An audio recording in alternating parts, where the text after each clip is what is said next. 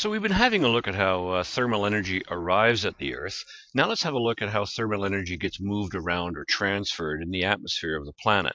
First off, we need to back up a little bit and do some basic science. There's there's three major ways in which uh, thermal energy can be transferred, and, and one is through conduction and that's through actual touch. So here we see the person holding the, the handle of this pot, and if the handle's not insulated, of course, heat is going to be transferred from the pot to this person's hand.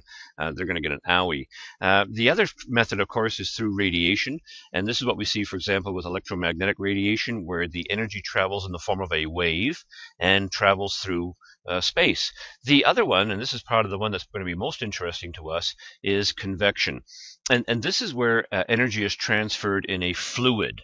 Now, a fluid can be either gas, like our atmosphere, or it can be liquid, like the liquid in this pot. And what you'll notice here is that hot um, particles down here in the bottom, when they get heated, they rise up. Uh, but as they get to the top here, they cool off and use, lose their heat and they fall back. And so we get these uh, convection currents taking place inside of a liquid. That can also, of course, happen in, in air, because air is also a fluid. So here we have a situation where solar radiation heats up, for example, the surface of, a, of an asphalt road, and the heat rises. Now, as the heat rises, it will cool and it'll begin to descend again as cooler air. So it's almost like the cooler air comes back down to fill in the space that was lost when that hot air rose. And so we typically will get these convection currents developing anywhere in a fluid, either air or liquid, where the heating is uneven, where one part is hot and one part is cool. Now, here's where things get rather interesting. Remember that we're talking about a planet here. We're, it's, a, it's a spherical object, and it's spinning. So what we see happening here is at the equator, where we're getting a lot of solar radiation, we're going to get air rising. So notice we have here air rising up at the equator, and it travels to the north or travels to the south, where it's going to cool off and sink and come back down again. It's going to come back down again to the equator to sort of replace that that air that was lifted from the, the warm portions of the equator. And you're going to get these massive convection currents that are taking place on an entire planet. So never mind a little boiling pot of water. Now we're talking about something the size of a planet with its uneven heating and cooling resulting in the, the fluid of the planet, that's the liquid and the air, moving in these convection currents. Now here comes the real fun. Remember that this sphere that we're on, this ball, this planet, is also spinning, right? It spins every 24 hours. And so we, it, we come up with an interesting effect called the Coriolis effect. And one way to illustrate this would be if I had, say, a cannon here on the equator, and I fired a cannonball directly towards the North Pole, you might expect it to, it to, just go straight to the North Pole.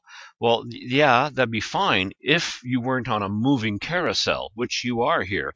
And so what'll actually happen is because the Earth is spinning, the path of the cannonball will actually be deflected in a curve, and it'll actually start curving towards the right, or it'll start curving, if you prefer, clockwise.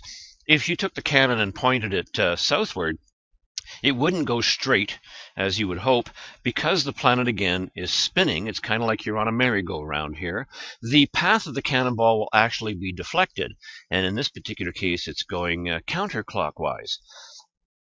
All right, well, now put that all together on a whole planet of the Earth with its atmosphere, and you get these incredible global wind patterns that are fairly well established in certain zones of the planet. So once again, have a look at these cells here. So at the equator, right here at the equator, we have warm air rising up and heading north, where it's going to eventually cool down and come right back again. And this first cell here is called the, the Hadley cell.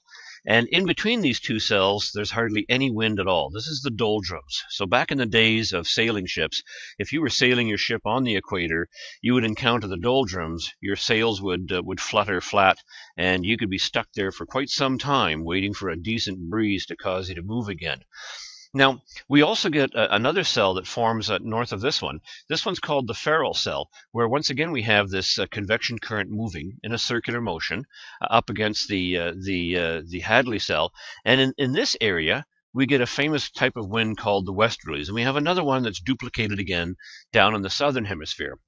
Now, uh, here where we are working in Pincher Creek in Alberta, we're very, very familiar with these westerly winds that come from the western side of the mountains, and uh, they're quite strong and they're quite constant. We have an awful lot of windmills here generating electricity because we're situated right in the westerlies, and every now and then we get a really, really strong burst of wind called a Chinook.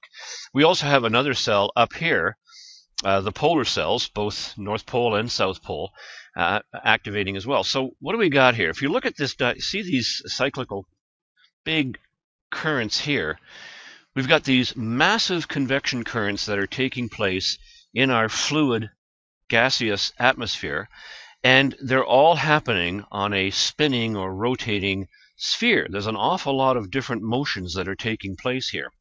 And so as a result of that, we get what's called the Coriolis effect. So in the northern hemisphere, we tend to see a rotation that goes this way. In other words, we're going we're going clockwise, whereas in the southern hemisphere we tend to see rotations that go counterclockwise.